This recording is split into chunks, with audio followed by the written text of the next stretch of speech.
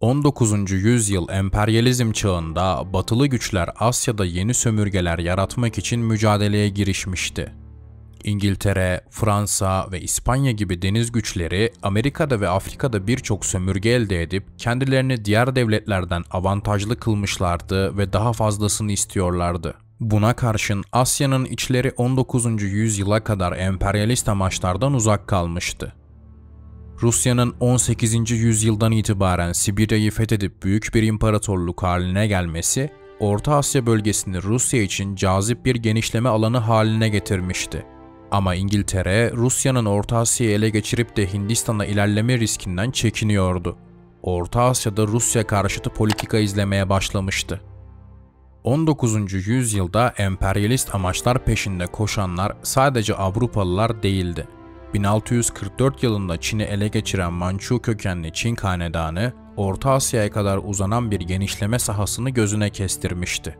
Rusya'nın Orta Asya'yı işgalinin başlamasıyla hem Asya'nın büyük güçleri hem de Avrupa devletleri arasında Asya hakimiyeti üzerine bir büyük oyun başladı. Bu büyük oyunun içerisinde yerel bir Türk komutan tüm oyunu değiştiren bir serüvene imza atmıştı. Hokan Hanlığı'nda bir asker olan Yakup Bey tüm Doğu Türkistan'ı fethetti ve Çinlilere karşı uzun yıllar bağımsızlık mücadelesi verdi. Bu savaş esnasında Yakup Bey kendisini tüm Müslümanların ve Türklerin lideri olan Osmanlı Sultanı'nı hami olarak seçmişti. Bugünkü videoda pek bilinmeyen Yakup Bey'i ve Osmanlı İmparatorluğu'nun Orta Asya'daki etkisini konu alacağız.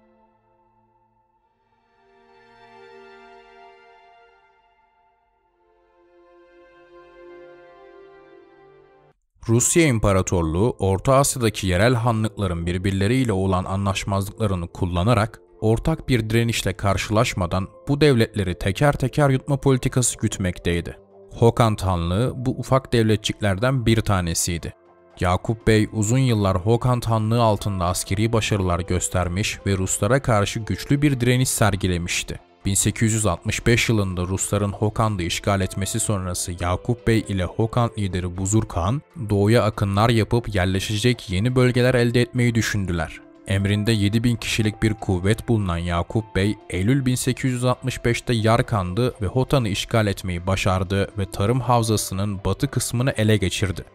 Hokan Tanı bu başarılar sonucunda Yakup Bey'in gelişen itibarından çekinip ona karşı tavır aldı. Fakat kendisine gelecek bir komplodan şüphe duyan Yakup Bey kolaylıkla Buzur Kağan'ı devirdi. Yakup Bey böylelikle siyasi gücü ele geçirmiş oluyordu. Bu sırada Doğu Türkistan'da siyasi istikrarsızlık yaşanmaktaydı. Çinli Müslümanlar yüksek vergiler ve yönetim hataları nedeniyle Çin hanedanına karşı ayaklanmış ve kısa süreli idareler kurmuşlardı. Kulca şehrinde başlayan ayaklanma Müslümanların arasında çıkan bir dedikodu üzerine patlak vermişti. Çin'in bölgeyi kontrol etmek için Müslümanları katledeceği dedikodusunu duyan yerel halk valiye karşı ayaklanmış ve bölgedeki Çin garnizonlarına saldırmıştı. İsyan her ne kadar Çinli Müslümanlar tarafından başlatılsa da kısa sürede Uygurlar, Kalmuklar ve Kırgızlar da isyana katılmıştı. Yakup Bey bu siyasi kaos ortamını kendisi için bir fırsat olarak gördü ve Rus tehlikesinden kurtulmak için Doğu Türkistan'ı işgal etti. Bölgede Türk nüfusunun ve medrese hocalarının desteğini alan Yakup Bey, önce Çinlilerle ardından isyancılarla mücadele etti ve kısa sürede Kaşgar merkezli bir Doğu Türkistan devleti kurdu. Yakup Bey'in devleti Asya Müslümanlarının mücadelesinde öncü durumuna geldi. Halk arasında Yakup Bey, Bağ Devlet ve Atalık Gazi olarak anılmaya başlandı ve önemli bir dini figüre dönüştü. Yakup Bey'in rejimi soyluların desteğine değil sıradan insanların ve tüccarların desteğine dayanmıştı. Bu desteği arkasına alan Yakup Bey, Kaşgar merkezli 7 Türkistan şehrini idaresi altına aldı ve 7 Şeddar yani 7 şehir adıyla bilinen bir hükümet kurdu. Uluslararası alanda Yakup Bey'e ilk tehdit Rusya'dan gelmişti. Çünkü Kaşgar'ın başarısı Orta Asya'daki diğer hanlıklara örnek olabilir ve Ruslara karşı toplu bir direniş başlayabilirdi. Bununla beraber Rusya isyandan hemen önce Çinlilerle bir ticaret anlaşması imzalamış ve geniş ayrıcalıklar elde etmişti. Yakup Bey'in faaliyetlerinden rahatsız olan Ruslar Çin İmparatorluğu'na başvurup Doğu Türkistan'a ortak bir askeri harekat düzenlemeyi düşündüler. Fakat Çinliler Rusların bu bölgede başarısız olacağından korktu ve bu teklifi reddetti. Bu süreçte Yakup Bey, Türkistan'da isyancılara ve Çinlilere karşı askeri harekatlarına devam etti. Rusya'nın Dışişleri Bakanı Prens Gorçakov yazdığı bir mektupta Yakup Bey hakkındaki düşüncelerini şöyle açıklamıştı. Yakup Han güçlü bir hükümet kurmasına rağmen Rus devleti Çin hükümetiyle anlaşmaya bağlı kaldığı için Çin devletine karşı isyan eden muzaffer bir isyancı ile etkileşime giremedi. Bu sebeple Rusya'nın ticari ilişkileri zarar gördü. Ticari ilişkileri zarar gören Rusya 1871 yılına gelindiğinde Yakup Bey ile anlaşma yoluna gitti. Rusya bu anlaşmayla birlikte tüccarları için garanti alırken Kaşgar devletinde tanınmış oluyordu. Fakat anlaşmadan kısa süre sonra Yakup Bey'in Batı ile olan ilişkileri gelişmeye başlayınca Rusya Kaşgar'a karşı tekrardan tehditkar bir tutuma geçti.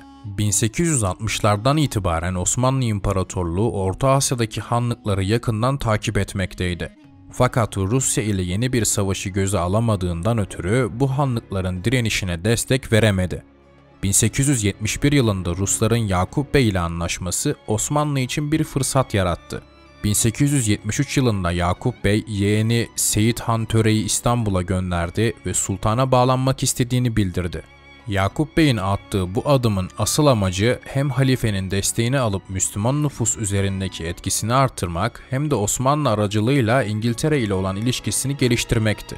Yakup Bey, Sultan Abdülaziz'e gönderdiği mektupta açıkça Osmanlı'ya bağlanmak ve askeri destek istediğini belirtmişti.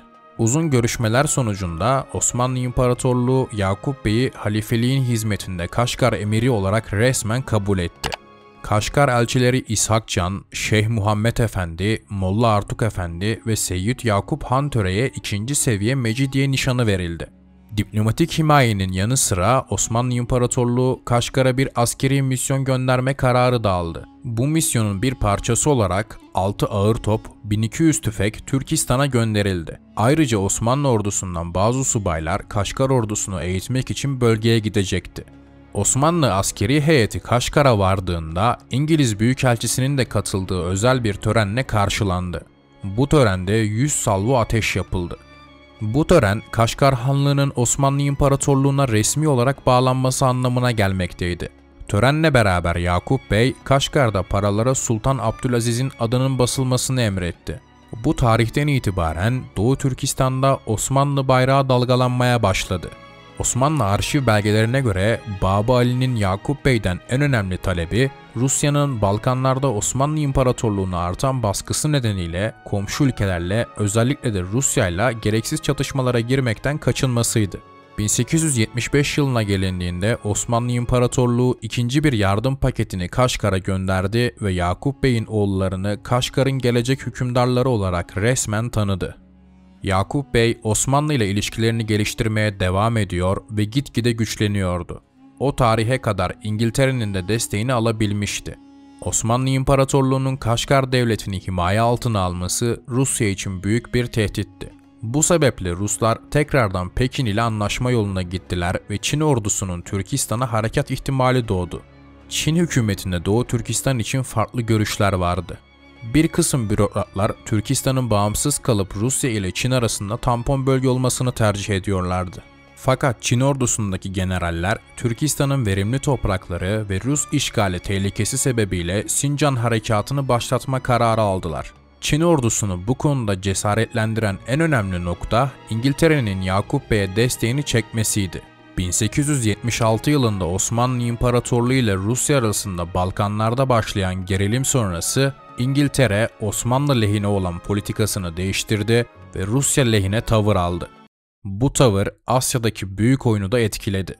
Aslında İngiltere'nin Türkistan politikasını belirleme konusunda İngiliz devlet kurumları arasında büyük anlaşmazlıklar mevcuttu. İngiliz Dışişleri Bakanlığı ve Pekin Büyükelçiliği Yakup Bey'in desteklenmesini savunurken Hindistan Dairesi Kaşgar'da Çin'in desteklenmesi gerektiğini savunuyordu. Osmanlı İmparatorluğu ile ilişkileri bozulan İngiltere en sonunda Kaşgar Devleti'ne olan desteğini de geri çekti. Bu dönemde Osmanlı Devleti hem Rusya tehlikesi hem de iç politikadaki istikrarsızlıklar sebebiyle Kaşgar'a destek veremedi. Böylece 1876 tarihinde Çin orduları Doğu Türkistan'a girdi ve Türk şehirlerini yakıp yıktı. Yakup Bey mücadeleye yeni başlamışken 1877 yılında Çinlilerin yerel bir beye rüşvet vermesiyle zehirlendi ve hayatını kaybetti. Yakup Bey'in ölümüyle Kaşgar devleti bölündü ve oğulları arasında da hakimiyet mücadelesi başladı. Böylece Doğu Türkistan'da 5 yıl boyunca dalgalanan Osmanlı bayrağı Çin orduları tarafından indirilmiş oldu. Kaşgar Devleti'nin yıkılması üzerine bölgedeki Osmanlı subayları yıllarca İstanbul'a dönemediler. Kaşgar'daki Türk subaylardan Yüzbaşı Ali Kazım Efendi İstanbul'a döndükten sonra bir rapor hazırladı. Bu rapora göre Osmanlı subayları Çin askerleri tarafından esir alındı ve aylarca Çin zindanlarında işkence gördü. Yıllar sonra İngilizlerin araya girmesiyle Çin Osmanlı subaylarını Hindistan üzerinden İstanbul'a göndermeye razı oldu. Yakup Bey ölmesine rağmen Kaşgarlıların Osmanlı ile olan ilişkisi yıllarca devam etti. 1879 yılında Sultan Abdülhamit'e Kaşgar hakkında bir rapor sunuldu ve yerel beyler tarafından Çin'e karşı destek istendi. Yakup Bey'in oğlu Bey Kuli 1880'de Kaşgar'ı yeniden fethetmek için Osmanlı'nın yardımını istedi. Beykuli, Yakup Bey öldükten sonra Çin ile arası bozulan Ruslardan yardım teklifi almıştı. Fakat o babasının verdiği sözü tutup sadece Osmanlı Sultanı için savaşacağını bildirdi. Ama maalesef Osmanlı İmparatorluğu'nun yardım gönderecek gücü yoktu. Sonuç olarak Osmanlı Devleti ile Yakup Bey arasında karşılıklı bir politik ilişki kurulmuştu. Osmanlı İmparatorluğu Yakup Bey'i desteklerken Asya'daki gücünü ve etkisini pekiştirmişti. Bu durum sadece Türkler arasında değil, tüm Asya Müslümanları arasında etki göstermişti. Bununla beraber Kaşgarlıların mücadelesi Osmanlı toplumunda uzun yıllar konuşuldu. Büyük oyunun bir parçası olması sebebiyle Yakup Bey hakkında Avrupa'da uzun değerlendirmeler ve kitaplar yazıldı. Londra gazetelerinde Yakup Bey ve Kaşgar uzun yıllar yer buldu. Yakup Bey diplomatik şartların uygun olması sebebiyle yaşattığı devletini bu şartların değişmesiyle kaybetti. Batılı güçlerin çatışmasından faydalanıp Doğu Türkistan'da Türk bayrağını dalgalandıran Yakup Bey, 60 yıl sonra Çinlilere karşı tekrar bayrak açan Uygur Türklerine ilham kaynağı oldu. Bugünkü videoda Osmanlı bayrağını Asya'da dalgalandıran Yakup Bey'i konu aldık. Videoyu beğendiyseniz daha fazla insana ulaşması için beğen tuşuna basmayı ve bu tip videolardan haberdar olmak için abone olup zili açmayı unutmayın.